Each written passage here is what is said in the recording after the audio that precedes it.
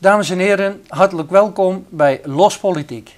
Mijn gast vandaag is burgemeester van de groep en ik ga met hem praten over actuele zaken en ook de zaken uit zijn portefeuille.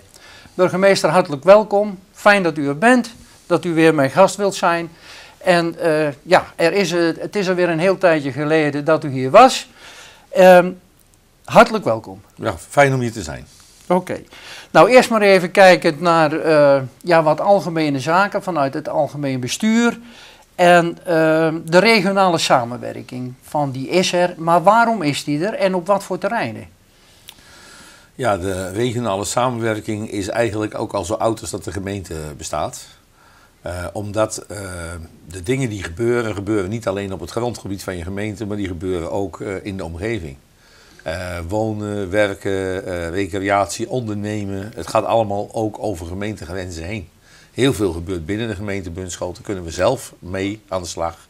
Maar voor andere dingen zullen we dat samen met de partners in de regio of met de gemeentes in de provincie moeten regelen. Dus als we kijken naar regionale samenwerking, dan hebben we daarvoor de regio Amersfoort. Dat zijn uh, negen gemeentes, Amersfoort en daaromheen, waaronder ook de twee uh, Gelderse gemeentes Nijkerk en Barneveld. En die negen gemeentes proberen op het gebied van uh, verkeer en vervoer, op het gebied van toerisme en recreatie, op het gebied van economie en op het gebied van sociaal domein veel met elkaar af te stemmen of samen te werken. En je merkt dat dat ook een voordeel is omdat je dan ook dingen die je in je eentje niet kunt, dat je dat met die andere gemeenten samen kunt doen. Ja. Is het nou efficiënter en levert het ook nog voordelen financieel op? Nee, dit, dit zijn niet eh, punten van dat je goedkoper kan werken. Want je doet dingen die je anders niet kunt. Of die je alleen uh, zeg maar met hele hoge kosten kunt. Dus, eh, maar je laat het. Eigenlijk kun je zeggen dat deze regionale samenwerking die doe je omdat je anders niet je taken goed kunt vervullen. Dus die heb je de andere partijen bij nodig. Er is nog een andere vorm van samenwerking. Dat is bijvoorbeeld dat wij als gemeente samen met Baren en Soest een sociale dienst hebben. Dat doen we omdat we met z'n drieën een goede sociale dienst kunnen hebben. En afzonderlijk met z'n drieën een veel te dure sociale dienst. Dus die zie je dat je het daar doet om goedkoper te kunnen werken. En om goed, uh, een goede kwaliteit aan de cliënten te kunnen geven, aan je burgers. Daar zijn we dus nu ook op dit moment gestart. Met kijken hoe we samen met uh, uh, Nijkerk, Putten en Leusden. En dan Bunschoot als vierde gemeente. Een aantal dingen die, uh, we, ja, die noemen we bedrijfsvoering. Van nou, hoe regel je nou in de gemeentehuizen de, de computers? hoe regel je de ondersteuning op het gebied van personeelszaken? Ja, kun je dat niet veel beter en handiger en, en goedkoper doen uh, met die vier gemeentes door samen te werken. Dus je ziet dat de gemeente Bunschoten op allerlei terreinen onderdeel wordt van samenwerkingsverbanden of is, om daardoor uh, onze eigen taken beter aan te kunnen, om uh, het niet financieel uit de hand te laten lopen en om uiteindelijk ook als gemeente zelfstandig te blijven, onze eigen identiteit zoveel mogelijk ook te bewaren. En dat wij niet worden gedwongen om in een soort uh, herindeling te komen. Dus dat zijn zo ongeveer de argumenten om, uh, om samen te werken. Oké. Okay. Ja, dan uh, een niet onbelangrijke, ja, ik denk zelfs een hele belangrijke, is de openbare orde en de veiligheid. Uh, er wordt met een bepaalde regelmaat wordt de veiligheidsmonitor gepresenteerd, hè, waarin ja, een overzicht ja. wordt gegeven van de situaties. Hè. Uh, hoe is dat voor Bunschoten? Zitten daar nou pieken in waarvan u zegt van nou, daar zouden we iets meer aan moeten doen? Of zegt u van nou, we stabiliseren aardig en we hebben het aardig in de hand?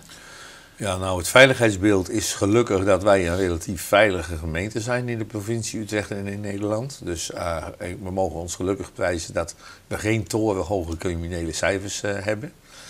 Uh, maar uh, er zijn best wel wat zorgpunten. In de afgelopen twee jaar is uh, nadrukkelijk het woninginbrakenniveau toegenomen.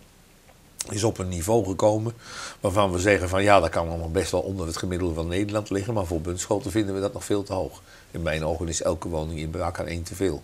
Dus wat kan je dan doen als gemeente uh, om dat te keren. En dat doen we via het veiligheidsbeleid, integraal veiligheidsbeleid. We spreken met politie en het Openbaar Ministerie, maar we hebben daar ook de burgers bij nodig.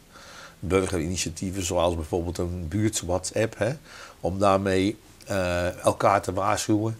Of ondernemers in het centrum bij winkeldiefstallen, dat ze elkaar via WhatsApp waarschuwen, maar ook direct de politie of andere toezichthouders erbij kunnen halen op het moment dat het fout gaat. Dus uh, wij kijken hoe kunnen we, uh, als de cijfers aanleiding geven, extra gas geven. Samen met andere partners, ook samen met andere gemeentes. Want als wij hier minder inbraken hebben, heeft Baren en meer. Dus uh, het zijn vaak dezelfde daders, maar die, die zijn dan op een andere plek. Dus ook daarin wordt uh, samengewerkt. En wat we voor Bunschoten op dit moment zien, is dat voor 2015 de eerste cijfers, dat er wat minder inbraken bij woningen zijn. En het aantal inbraken bij bedrijven, wat wel heel laag was, maar is wel iets aan het stijgen. En opmerkelijk is veel fietsendiefstallen. Dus dat, dat, daar zijn we aan het kijken, ook hoe we samen met politie en justitie uh, de, de vinger erachter kunnen krijgen of daar uh, bendes actief zijn die uh, hier fietsen komen stelen. Ja, ja. Burgernet, hè, dat is ingebracht en er is steeds meer toename ook van mensen die daarin mee, meewerken, ja. zeg maar. Hoe belangrijk is Burgernet? Wordt steeds belangrijker. Ik noem net de WhatsApp-groepen. Ja. Dat is in een buurtje heel goed, maar Burgernet is dus nog groter. Wij hebben veel deelnemers in onze gemeente, maar wat mij betreft mogen er nog veel bij. Uh, uh, omdat het heel makkelijk is. Je meldt je aan of via je telefoon of via internet of via sms. En dan vervolgens krijg je op die manier ook een berichtje van... Uh, er is iets bij u in de buurt aan de hand, wilt u even kijken? Dus vorige week bij een diefstal van een scooter. Nou, dan vervolgens wordt dat doorgegeven. Mensen worden gevraagd om uit te zien. Uiteindelijk wordt de scooter dan teruggevonden. De dader is helaas gevlogen, maar daar, zal nog verder op onderzoek worden gedaan. Maar je merkt dat op het moment dat burgers kunnen worden ingeschakeld van kijkt u mee, let u op, wilt u onze oren en ogen zijn, dat uh, de politie dan beter in staat is om uh, iets tegen een, uh, een crimineel gedrag te kunnen doen. Of om iemand, een kind dat vermist is, op te sporen. Dus ik zou zeggen tegen onze mensen die zich nog niet hebben aangemeld, meld je aan bij Burgernet.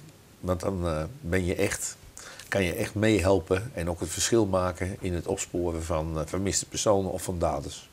Oké. Okay. Uh, een andere, de horeca, per 1 januari is dat uh, die verantwoordelijkheden zijn bij de gemeenten terechtgekomen. Hè. Voedsel- en Warenautoriteit doet dat niet meer. Van, ehm, hoe, hoe, verloopt de toezicht zeg maar, op de naleving van ja, alcoholgebruik, leeftijden, roken, dat soort ja. dingen?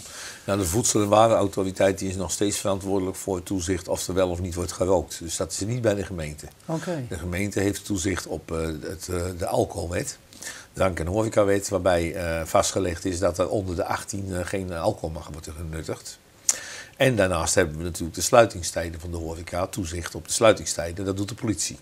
En het toezicht op de uh, uh, dranken, de dranken, de horecawet, het, het drinken onder leeftijd, dat is bij de gemeente gekomen. En dat ligt dus een taak bij onze BOA's.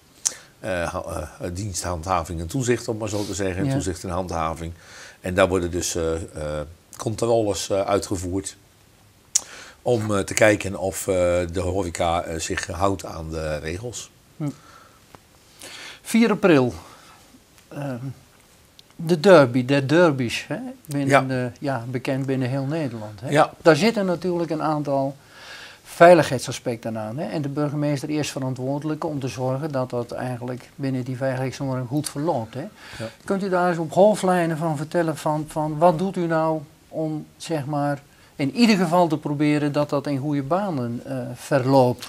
Ja, maar dus, uh, uh, het is zich natuurlijk wel een beleid ontwikkeld van hoe ga je nou met zo'n derby om. En uh, het belangrijkste is dat je dat beleid dat je dat hebt ontwikkeld uh, samen met je partijen in de, wat wij de veiligheidsketen noemen. Dus dan praat je dus weer over politie, justitie, brandweer, veiligheidsregio Utrecht. En je praat over de club zelf. want die nemen ook een enorm aandeel in, het, in de organisatie en de veiligheid via de stewards en via de afspraken die er worden gemaakt. Dus er is altijd overleg. Dat noemen wij sowieso topklasseoverleg. Maar wordt gekeken welke wedstrijden in de topklasse die worden gespeeld hier hebben een uh, verhoogd uh, risico of zijn er bijzonderheden. En hoe moeten wij daar dan op acteren? Dus dan heb je wedstrijden van A, B en C categorie. En afhankelijk van de categorie de zwaarte past daar dan ook een pakket bij. Nou, bij de derby is dus sinds een aantal jaren uh, wel een vast termijn ontstaan dat we voor de derby een, uh, een alcoholverbod hebben. Dat er uitsluitend in plastic wordt geschonken. dat er dus, hè, dus geen glas wordt gebruikt, dat er toezicht is, dat er supporterscheiding is. Ja, er zijn zoveel dingen die dan allemaal keurig worden geregeld. En ook samen met de clubs, daar ben ik wel heel erg blij mee dat dat op die manier gebeurt. En daardoor is dus ook eigenlijk ontstaan dat ja, zeg maar, er toch alweer een hele ontspannen sfeer rondom die derbies is geweest en uh, is ontstaan. Uh, ondanks het feit dat je zegt van altijd spanning is bij de rode of de blauwe van wie zal er winnen. Ja. En zeker als het nog gaat om de punten voor een kampioenschap en zo, dan, uh, dan zit daar extra spanning op. Maar de, de veiligheidsaspecten, dan kijk je naar de tribunes, die worden opgebouwd. Uh, kunnen uh, daar de mensen op tijd weg als er calamiteiten zijn? Zijn er brandgevaar? hoe zit het daarmee? Ehm, ja, daarnaast zijn er afspraken nodig met de horeca. En we hebben voor de horeca, die mag pas om drie uur alcohol schenken in het dorp. Maar de horeca die vlak bij de Westmaat zit, die mag pas om vier uur alcohol schenken. En als de tweede helft begonnen is. En op de Westmaat zelf mag pas weer om vijf uur alcohol worden geschonken. Ja. Wat dit jaar wel opvalt, de KNVB stelde de rooster vast voor, het, voor, het, voor, het, voor de derby. En wat dit jaar wel opvalt, is dat de derby op de zaterdag tussen Goede Vrijdag en Eerste Paasdag valt. Dat is niet een hele gelukkige uitkomst, vind ik. Maar ja, dat is wel. er wordt altijd op die zaterdag gevoetbald. En voor de KNVB is het een gewone voetbalzaterdag. Maar er zijn wel mensen die daar wat vraagtekens ja, ja. bij stellen. Maar ja, dat is dus niet aan de burgemeester. De burgemeester die komt in beeld op het moment dat er uh, op een gebied van openbare orde problemen zijn te verwachten. Dan kan die zeggen tegen de KNVB, uh, uh, die wedstrijd kan niet doorgaan.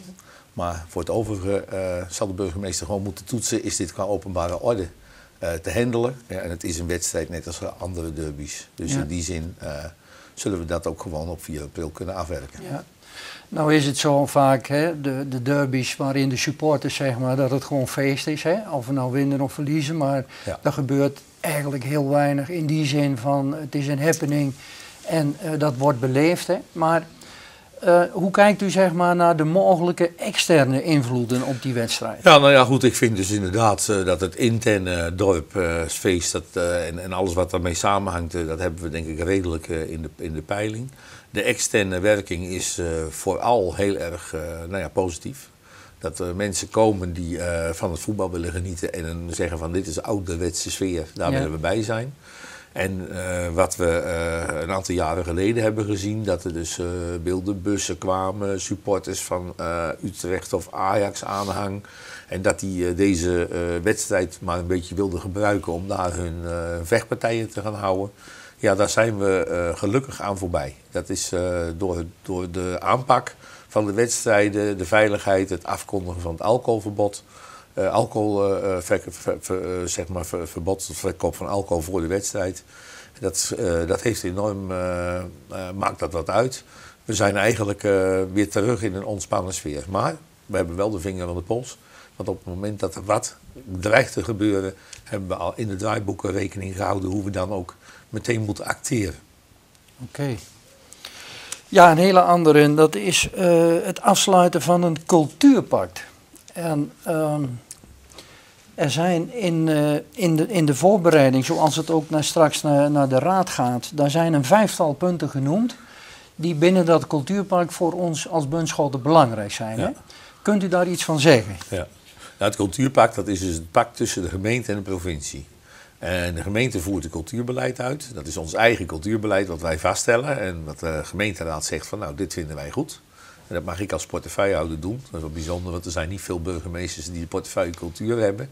Meestal een wethouder. Ja, ja. Maar goed, uh, in dit college is er van, zou je dit willen doen? Nou, de cultuur van het dorp heeft mijn hart, dus uh, ik doe dat met liefde. Maar de provincie die speelt daar ook een rol in. En dan is het de vraag van hoe kun je als overheden elkaar versterken. En daarvoor is het pact gesloten. En dan hebben we op vijf punten afspraken gemaakt hoe wij onze cultuur uh, beter kunnen behoeden, bewaren en versterken door samenwerking met de provincie. Nou, een van de, eh, mijn eerste punt daarin is zorgen dat wij uh, onze museumhaven Spakenburg op, Ja. de, op de voet houden. Dus wij zijn bezig met een masterplan voor die botters. Ja. En dan kan de provincie bijvoorbeeld, die kan, de, de contacten die de provincie heeft, ervoor zorgen dat als wij zeggen, ja, dan moet eigenlijk gekeken worden van eh, de kennis om eh, fondsen te benaderen. De kennis om eh, de mogelijkheden om bijvoorbeeld Europese steunfondsen te gebruiken. Om te zeggen van er moet maatschappelijk geld komen om museumhaven, werf en bottes in de lucht te houden. Ja, dan hebben we daar een geweldige belangrijke afspraak. En ik heb de gedeputeerde en de commissaris van de Koning in de afgelopen jaren ook in het dorp gehad. En bij die haven laten zien dat daar wat daar ligt, dat mag niet wegrotten. Dat moet echt, daar moet echt iets aan gedaan worden. Om te voorkomen dat we Spakenburg, Spakenburg niet meer is. En dat ziet men ook allemaal. Dus vandaar ook, ben ik ook blij mee dat dit het eerste punt is wat opgeschreven is. Maar een ander punt is bijvoorbeeld zorgen dat je de gemeentelijke monumenten eh, eh, goed, dat je daar goed mee omgaat. We hebben een dorp met helaas heel weinig rijksmonumenten. Dat valt op. We zijn bijvoorbeeld een van de laagste van de provincie. Dat komt gewoon omdat hier ook weinig bewaard is gebleven. Eh, maar we hebben wel in de eh, latere tijden mooie plekken ontdekt en die ook opgeschreven waar we als gemeente zeggen dat willen we graag behouden. Dus dan moeten we de status van gemeentemonument aangeven. Daar hebben we ook de steun van de provincie bij nodig, want die heeft eh, een steunpunt Monument Utrecht. En die levert ons dus expertise, zodat wij dat niet zelf hoeven te doen. Dus ook dat is de tweede vorm van samenwerking. En als ik een derde mag noemen, er zijn er meer te noemen hoor, dan is het de bibliotheek. Ja, ja. De bibliotheek, daarin gaat de provincie eh, ons helpen om de bibliotheekvernieuwing gestalte te geven. Die zorgen ook voor de dienstverlening aan de bibliotheken, zoals ook onze bibliotheek. Nou, we zitten met, eh, met een, in een veranderingsproces. Volgende week wordt de nieuwe bibliotheek eh, geopend aan de Blokkenmakersteeg. Maar de bedoeling is dat die op termijn in de oude show komt. Eh, maar die bibliotheek, ook in de Blokkenmakersteeg, zal al veel meer een bibliotheek van de nieuwe tijd zijn. En dat is ook dankzij de samenwerking met de provincie in het Cultuurpact. Oké. Ja, een hele andere, en daar wordt vaak ook over gesproken en dat wordt ook, eh, daar wordt ook over geschreven. Hè. De, de gemeente kent een begroting, maar de gemeente kent ook een kadernota. En dan wordt er verwezen, ook wel in de raad of eh, ook wel in de commissies, van dat nemen we mee in de kadernota. Ja. Wat houdt nou een kadernota in en hoe ontstaat die, eh, burgemeester? Ja, is, eh, een kadernota komt uit, eh, uit twee dingen voort. De eerste is dat je als de gemeenteraad, dat is de hoogste orgaan van de gemeente. Dus niet de BMW, ook niet de burgemeester, maar de gemeenteraad. De gemeenteraad die stelt de kaders vast. Dat betekent waarbinnen mag de gemeente zich begeven. Wat zijn de uitgaven van de gemeente? Hoe hoog zijn de belastingen? En waar wordt het geld aan besteed? Nou, elk jaar wordt er een begroting opgesteld, dat, dat begrijpen we, we hebben een begroting. Maar in een begroting wordt eigenlijk ook heel veel eh opgezomd wat elk jaar hetzelfde is. Je hebt eh, die vaste lasten, je hebt die vaste uitgaven voor personeel. Ja, dat, dat is niet spannend, want dat heb je. Dat, dat, dat is nauwelijks te beïnvloeden. Maar wat te beïnvloeden is, dus wat politiek te bepalen is, dat is... Gaan we de belastingen verhogen of verlagen? Gaan we meer uitgeven aan dit of gaan we minder uitgeven aan dat? En dat wordt nu verzameld in een document en dat heet dan de kadernota. Dus dat wordt voorafgaand, voordat de begroting wordt opgesteld. De begroting komt dit najaar. En dan heb je dus in het voorjaar, heb je, hoe staan we ervoor financieel? Wat zijn de politieke wensen?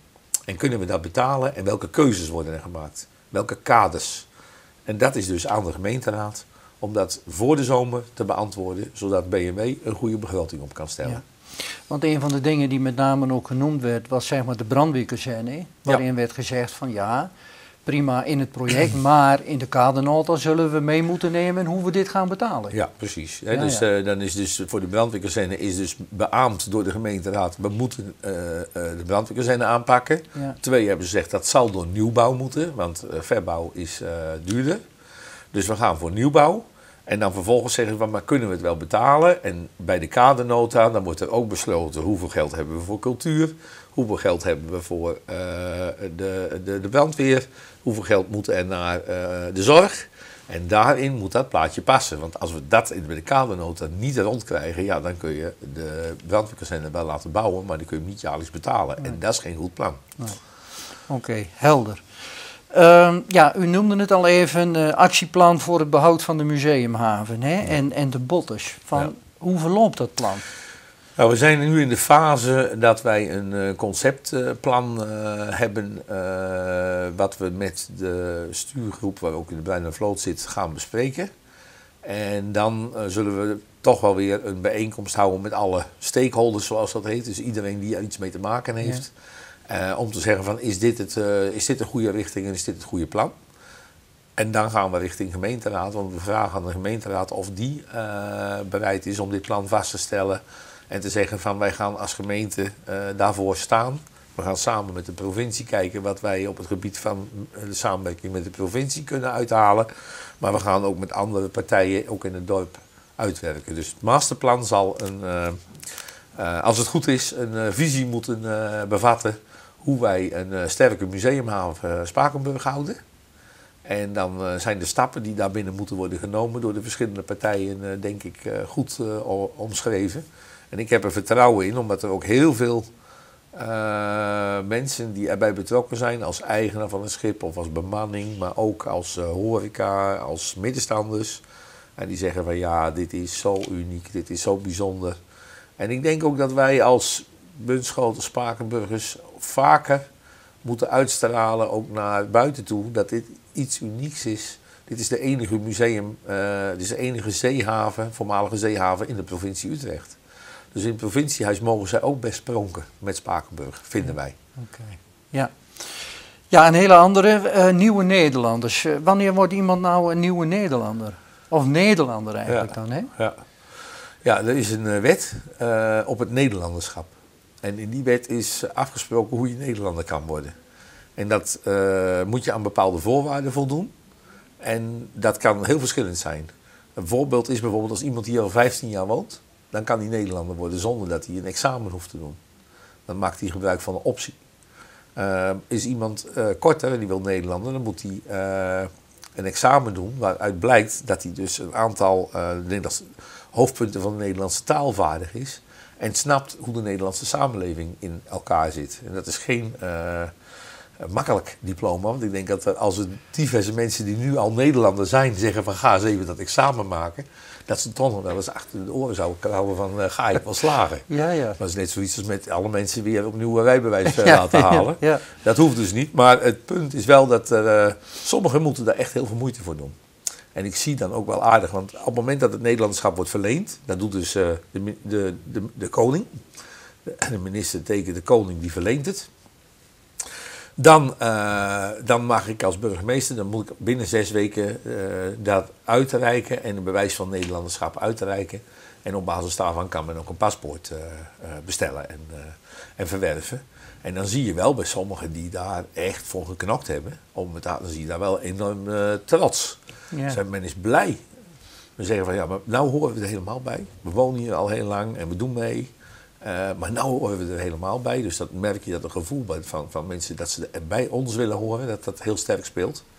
En, uh, en ook trots als ze de examen hebben gehaald. Ja, ja. ja.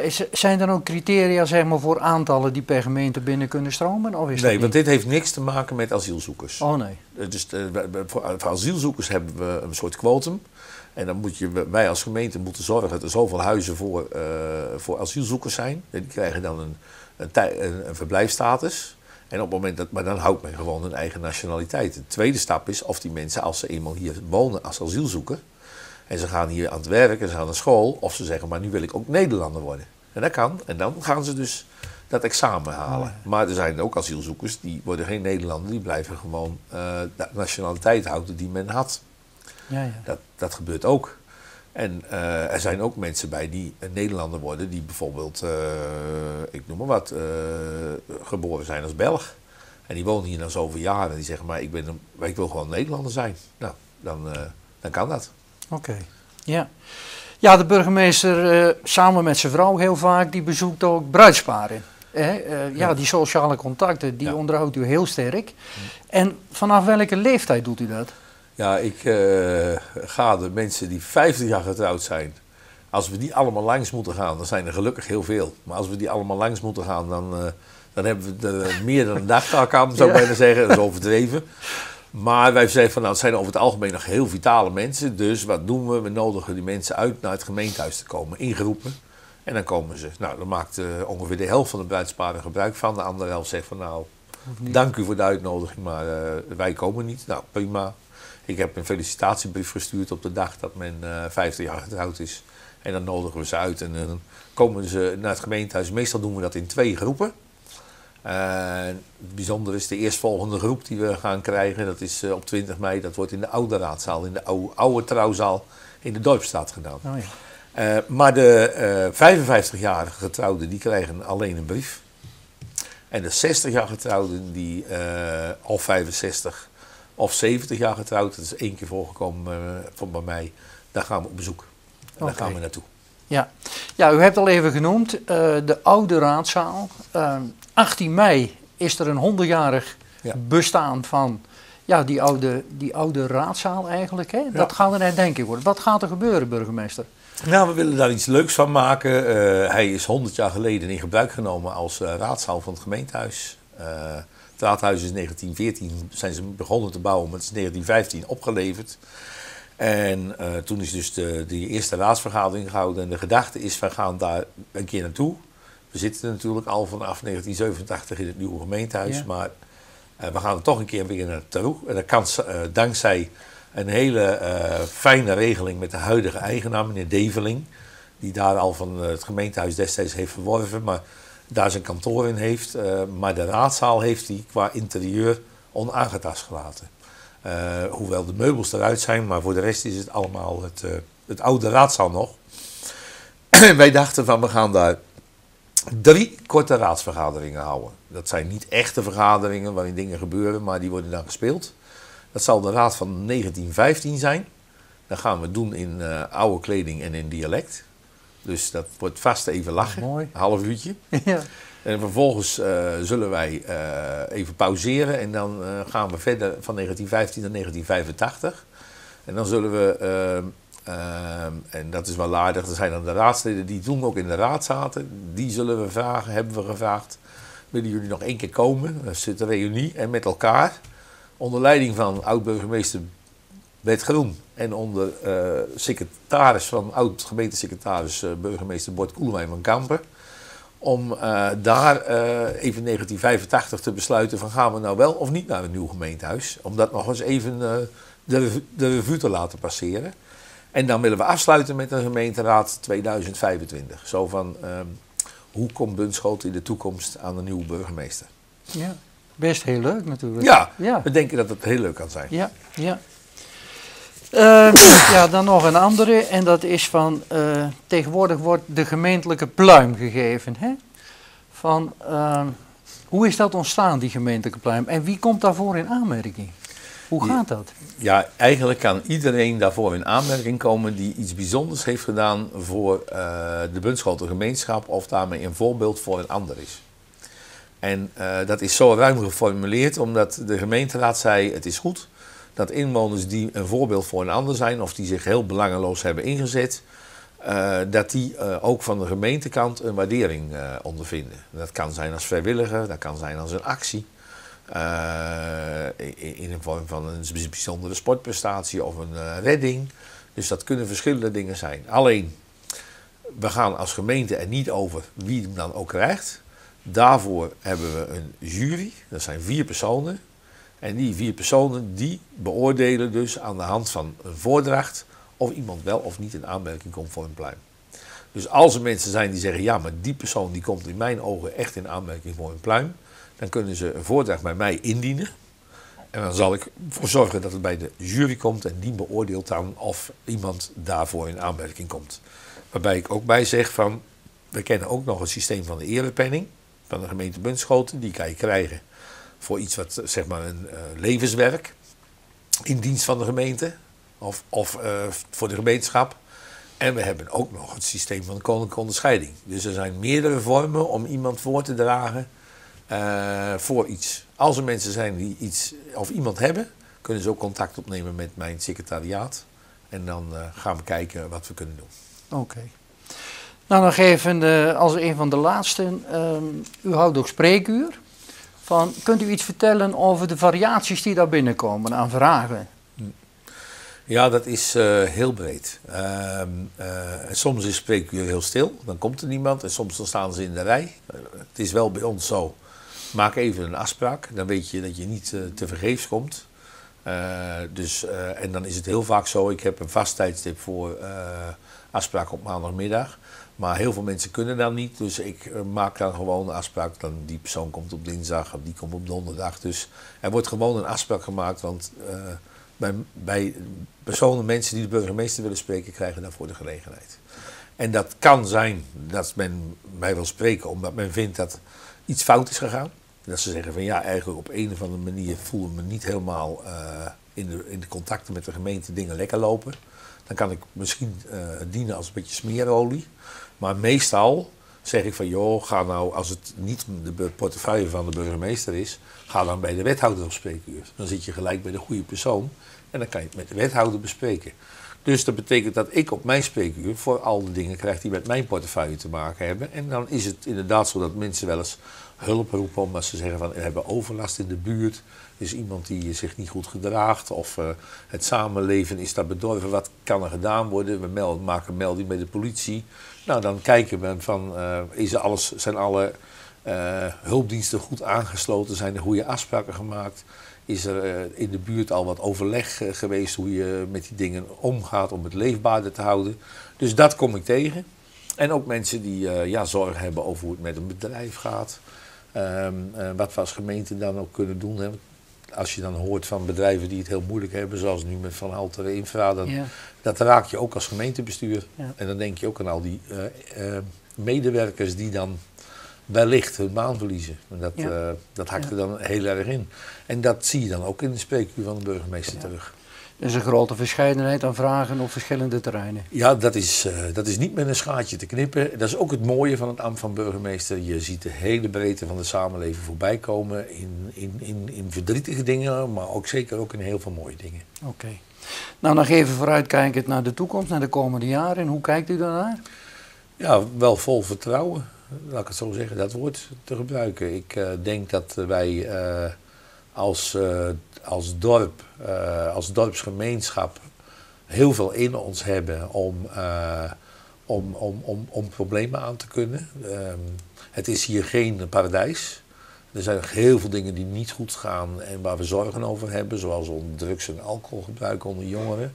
Dat je, niet alleen onder jongeren, maar dan denk ik ook van daar moeten we echt onze ogen open voor houden. De wereld komt op een hele zware manier binnen. Er zijn ook ja, zeg maar, het signaal dat er veel vechtscheidingen zijn. Dus dat betekent dat, er, dat het lang niet allemaal uh, uh, koek en ei is.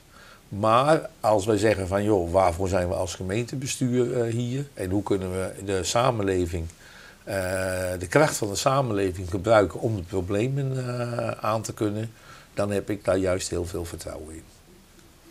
Burgemeester, dank u wel. Ik vond het een fijn gesprek en ik vond het fijn dat u er weer even was. Hartelijk dank. Graag gedaan. Dames en heren, dit was Los Politiek. Mijn gast vandaag was burgemeester Melis van de Groep. Dank voor het kijken. Tot ziens. Dag.